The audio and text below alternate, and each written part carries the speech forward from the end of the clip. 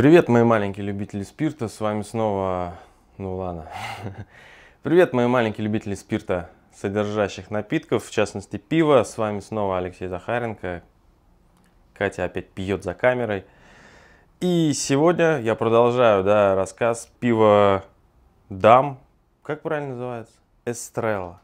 Эстрелла Дам, да. В прошлый раз я рассказал о обычном пиве, которое поставляется как в, в розлив, так и в бутылочном варианте. Сегодня я расскажу о чуть-чуть необычном пиве. Это Estrella Dam Daura. Вот такая тоже бутылочка очень похожа. Тоже вот, ну как бы здесь только звездочки нет. Чуть побольше всего написано.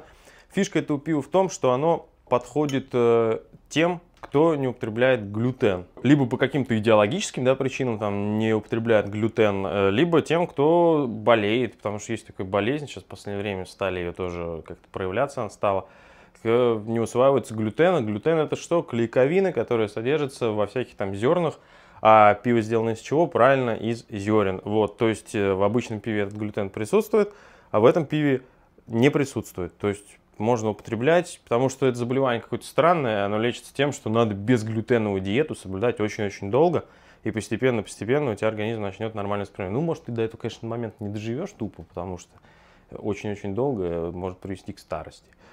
Вот. Попробую, да? Да, еще раз, это Эстрелла Дам Даура. Ну, вот Катя спрашивает, а что что там в составе? Нет, вода, ячменный солод, э, рис, хмель. Все, алкоголь 5,4, э, экстративность начального сусла 13,1. Э, ну, как бы, я не знаю, наверное, как-то этот глютен из готового уже продукта убирают. Я не в курсе, ребят. Я сначала думал, что это, может какой-то маркетинговый ход, а с другой стороны, ну, безалкогольное пиво его же тоже сделали в угоду автолюбителям, которые хотят пить пиво. Сделали безалкогольное пиво, да, в свое время, давным-давно. Так ведь, да, я сейчас не придумал эту историю. По-моему, да, по-моему, так его специально то есть, сделали. И здесь тоже, ну, как бы есть, если ниша, да, какая-то людей, вот, которые хотят пить пиво, ну, не могут. Ну, вот такое вот бывает. Как то любители, да, ну, с ними попроще, они могут потерпеть. А вот ребята, которые болеют, ну, что делать? Ну, вот взяли, выпустили. В принципе, нормальная фишка такая, ну, почему бы нет? Пиво хорошим солодом аламатом обладает. Хмель почти не ощущается у меня, во всяком случае, да, вот в этом пиве. Оно такое светленькое, видно, что ну, нормальный, очень интересный, такой хороший пивной цвет. Карбонизирует не очень, пузырьки приходится добывать с дна бокала, вот, но пенка плотная при этом. Ну, такой в целом нормальный пивас. Вот единственная фишечка, что он поставляется только в бутылочках таких 0,33, и можете его стоит пить так.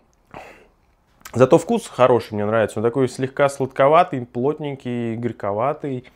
Горечь стойкая такая, нормальная, приятная хмелевая, причем она держится. То есть не просто так, хоп, прошла, она сейчас есть. Приятное, хорошее хмелевое такое пиво.